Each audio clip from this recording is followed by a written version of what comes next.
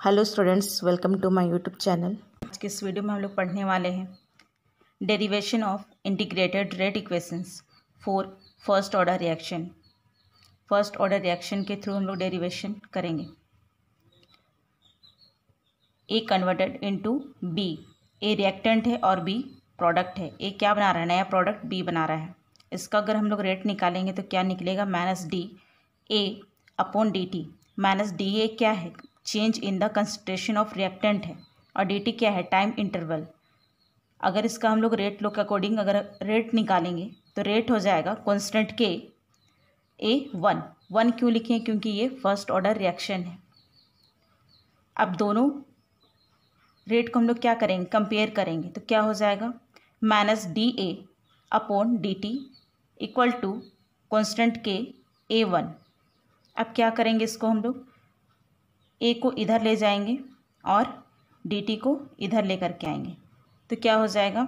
Minus D A upon A equal to K D T हो जाएगा। अब इसके बाद हम लोग क्या करेंगे? माइनस को इधर लेकर के आएँगे। माइनस को इधर लेकर के आएँगे तो क्या हो जाएगा? D A upon A equal to minus K D T equation one इस इक्वेशन वन में हम लोग क्या करेंगे? दोनों साइड में बोथ साइड में हम लोग इंटीग्रेटिंग करेंगे। दोनों साइड इंटीग्रेशन करने पर क्या हो जाएगा?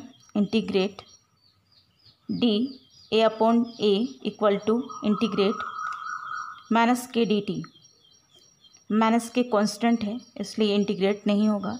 इसलिए इसको हम लोग बाहर लिखेंगे। तो क्या लिखेंगे? Integrate D A upon A equal to minus K integrate D अब देखिए इंटीग्रेशन के बाद क्या करेंगे हम लोग? D A integration D A upon A इसको हम लोग इंटीग्रेशन में एल एन लिख, लिखते हैं। एल एन ए लिखा जाएगा। क्योंकि एल एन क्या है? एल एन नेचुरल लॉग है। इसलिए यहाँ पर लिखाएगा L N A equal to यहाँ पर इंटीग्रेट और डिफ्रेंसिएशन दोनों कट जाएगा। तो बचेगा क्या? माइनस के टी प्लस आई। यहाँ पर प्लस आई हम लोग करेंगे। आई क्या है? Integration constant. ये है इक्वेशन टू। अब इक्वेशन टू में हम लोग टी का वैल्यू और ए का वैल्यू पुट करेंगे। तो टी का वैल्यू लेंगे ज़ीरो और ए का वैल्यू लेंगे ए नोट। ए नोट क्या है? इनिशियल कंसनट्रेशन है। अब हम लोग इसको क्या कर देंगे? इक्वेशन टू में हम लोग पुट कर देंगे। इक्वेशन टू में अगर हम लोग पुट करेंगे तो क्या हो जाएगा?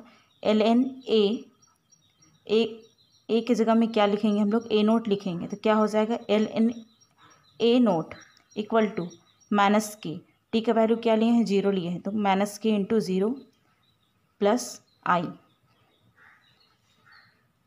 अब क्या हो जाएगा? ज़ीरो से के मल्टीप्लाई होगा तो ज़ीरो हो जाएगा। तो बचेगा क्या? L N A naught equal to I हो जाएगा। L N A naught equal to I ये क्या है? इंटीग्रेशन वैल्यू है। अब इस वैल्यू को हम लोग पुट कर देंगे। Putting value of I in equation two हम लोग इक्वेशन टू में हम लोग पुट कर देंगे आई का वैल्यू को। तो क्या हो जाएगा? L N A equal to minus K T plus L N A naught L N A इसको हम लोग क्या करेंगे? इधर लेकर के आएँगे। ये प्लस है तो इधर आएगा तो ये माइनस में हो जाएगा। Minus L N A naught equal to minus K T अब लो के केस में दो वैल्यू अगर जब माइनस में होता है तो इसको ये डिवाइड में हो जाता है। इसलिए ये डिवाइड में हो जाएगा। L N A upon A naught equal to minus K T minus को हम लोग इधर लेकर के आएँगे तो क्या हो जाएगा? जो ये वैल्यू जो है, वो पलट जाएगा। मतलब L N A naught upon A ये पलट जाएगा। इक्वल टू के टी अब एल एन एल एन को हम लोग क्या करेंगे? एल एन को खोलना है, इसलिए हम लोग क्या करेंगे? मान लिया L N A equal to two point three zero three log A ये वैल्यू है। तो यहाँ पर हम लोग क्या लिखेंगे? Two point three zero three log A naught upon A equal to K T. T को इधर लेकर के आएँगे तो क्या क्या हो जाएगा? Two point three zero three upon T log A naught upon A equal to K. इसलिए क्या हो जाएगा? K equal to two point three zero three upon T log A naught upon A तो जो ये इक्वेशन जो है first order reaction का कांस्टेंट वैल्यू है। कांस्टेंट का वैल्यू है, फ़र्स्ट ऑर्डर रिएक्शन का। थैंक यू स्टूडेंट्स अगर आपको कहीं पर पूछना है तो कमेंट करके पूछ सकते हैं। आई होप आप लोगों को समझ में आया होगा। तो नेक्स्ट वीडियो में मिलते हैं। तब तक के लिए बाय